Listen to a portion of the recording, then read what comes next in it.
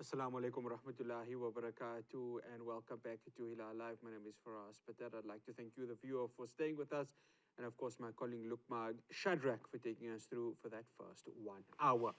Now this weekend, the EFF celebrated its 10th anniversary and in doing so, they sold out an entire FNB stadium. They've become a party that has shaken the political landscape and with that have the capabilities of making an even bigger inroads come next year's general national elections. Joining us now to discuss their rise in the 10 years and what future they hold within the political landscape for even bigger impact, I'd like to welcome political analyst Professor Sipho Seepe. Professor Seepe, good evening and thank you so much for joining us here on Hilaal Live. Oh, thank you for inviting me. No, it's an absolute pleasure. Professor Seepe, we know that uh, the EFF makes an impact at every event, wherever they are. But Saturday was something else, wasn't it? And if you're looking for a, a sort of uh, reaction from them to anyone who had doubted just their capabilities as a political party, Saturday was a classic example of it, wasn't it? Yeah, the EFF understands the importance of optics. And uh, on Saturday, they made sure that the optics uh, are sending a message. So when you have a, um, an event like this, uh, those are two important things, uh, the optics and the message. And uh, the fact that they were able to fill up the stadium as big as um, uh, FNB Stadium in Soweto was simply an indication of the, robustness of the, the party in terms of its organizational capacity, capabilities. And they were also making a statement that unlike many other parties who within four years or three years of being established, they go down. The EFF has been growing by leaps and bounds. And the, the optics uh, could not uh, almost send that message very clear. But what Malema also did was to make sure that the, the message uh, captures the sense of vibrancy and the militants that have become associated with the EFF. Professor Seepe, the, the statement, as you mentioned, was quite clear from Julius Malema and, of course, the rest of the party. Now, they have the tendency of wanting to be populist, but how do they now balance populism with regards to actually talking or well walking the talk because everyone asks that question can they walk the talk if they are given key key uh, key sort of uh, key roles with not only national government but also within the municipalities and the metros that they have quite an influence in well you ended with a proper phrasing the issue of influence and this is what uh, political parties are about. And uh, the way you make sure that you are influential, you occupy all sides of influence and sides of struggle. And the EFF defined its uh, approach, which is distinct from other parties, by saying it will use uh, areas like the courts as a, a site of struggle. It will use the mass mobilization, the streets, as a site of mobilization and also of giving a strong message, and it will also use the parliament. And what we've seen is a party that has not only been militant in its approach, but it has also been radical in terms of its own language. We must also remember that it is a parties like the EFF or somebody like Malema who has made sure that the words and phrases that were almost banished in our political lexicon are brought back. The whole concept of nationalization, socialism, land expropriation, free higher education, it's been pushed by these young people who are members of the EFF.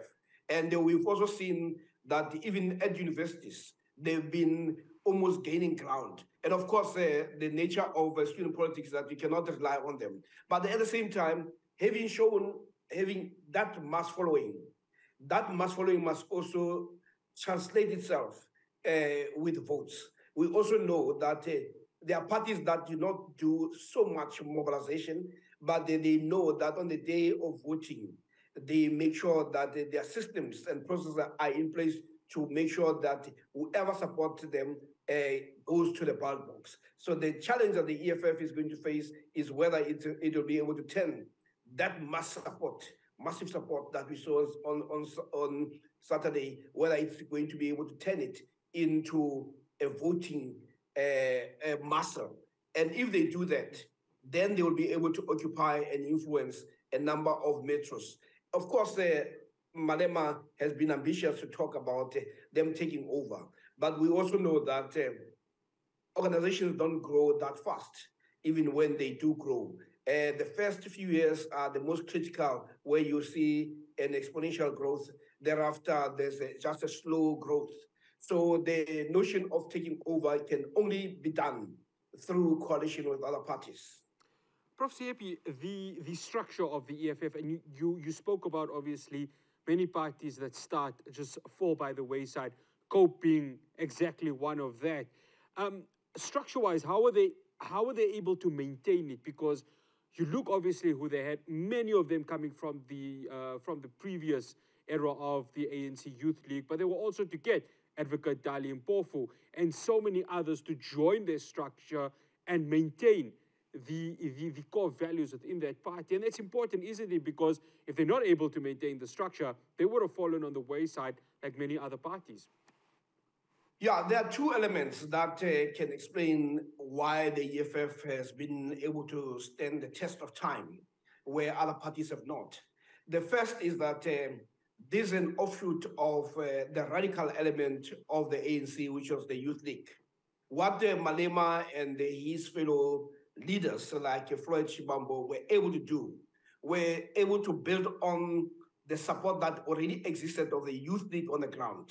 And they, because of their charisma, they were able to pull those structures and build an already robust existence on the ground. So that was the first thing that it is not a party like Agang that starts from nowhere. They already had uh, structures because the Malema had been a tactician and has been a strategist, but has understood the ANC's weakness and understood the ANC quite well. And he was able to bring that mass following that he had as a leader of the ANC Youth League. So that is the first thing. The second thing that Malema and the, the EFF were able to do was not to try to be like COPE, which was claiming to be a real custodian of what the ANC stands for. What they did was to define themselves outside the ANC as distinct and representing something that the ANC does not represent. They agreed that the ANC had played its role, but they felt that the ANC is no longer capable of taking the struggle for emancipation of black people to the next level. And this is what they zeroed on to say we are not going to talk about what the ANC will talk about. We will talk about the radical economic transformation, which is some uh, somehow they took um, part of what the ANC also spoke, but the ANC used those language, used that language, but it had no intention. You have members of the ANC because of uh, the fact that the ANC does not know what it stands for. So when they speak, you that is a, a language of a particular strand or affection within the ANC. But when the EFF speaks about this, there's a sense of unity.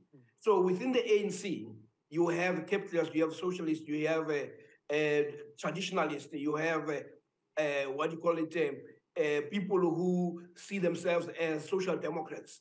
Uh, so and others see themselves as communists. But the EFF has been able to say we are not as confused. We're not a type of broad church that the ANC is. And when you have a broad church, you are not able to move with speed.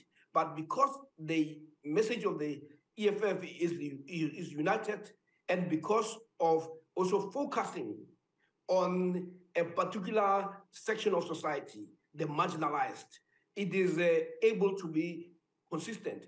The ANC, on the other hand, it's a multi-class organization. So it must respond to all classes, the, those who are exploited and those who are exploiters. And this is where it finds itself almost um, being schizophrenic. So the EFF does not suffer from that level of schizophrenia that you find in the ANC. And it is for that reason that it has been able to sustain that language. But more, more importantly, it is a party of uh, young people So you're talking about people who still have more Prof. years. Seepe, Prof. Seepe, I have to stop you. I need one question to just get out of you, and I wish we had more time to continue this conversation. Uh, the the ANC right now, as it stands, they're losing a lot of ground when you look at the electorate at this very moment. Uh, is their downfall going to be the rise of the EFF from a national point of view? I know there's been talks of Paul Mashatile coming in as president with Julius Malema as deputy. I don't know how far fetched that is, whether that's a reality, but what impact can the EFF make come next year's polls? Well, the EFF is uh, definitely going to grow, not as fast as some people think it will. And the ANC is going to continue to be on a downward spiral. And it's even so because uh, you're talking about a, a party that has no ideas. The party where the president does not know anything, the only thing that he knows is more about uh, opportunities for public relations.